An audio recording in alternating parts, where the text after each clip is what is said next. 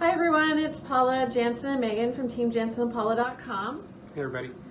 Today we are chatting with you about uh, getting ready for the, the dreadful W word, winter. Anyways, we're all looking forward to it. I'm sure there's some out there that love it, like her.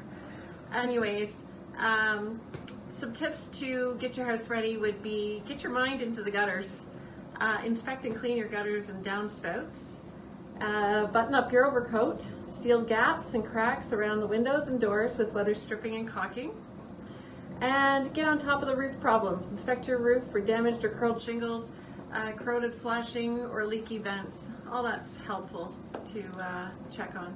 Here's three more for you here. Uh, keep your humidifier running. Clean the plates and the pads to ensure efficient operation. And if you have an HRV, then um, make sure you clean it and the filter to ensure optimum operation. Uh, test your smoke detectors and your CO detectors um, and inspect or install fire extinguishers. Uh, and if you've got a wood burning fireplace, uh, when was the last time you had your chimney swept? And the last three notes, we have um, drain and winterize outdoor faucets and irrigation systems. Freshen your filter, so clean and replace or replace dirty filters for your furnace.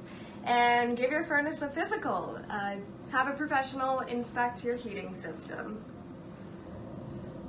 So, All right. Thank you very much, everybody. I hope everybody has a fantastic day.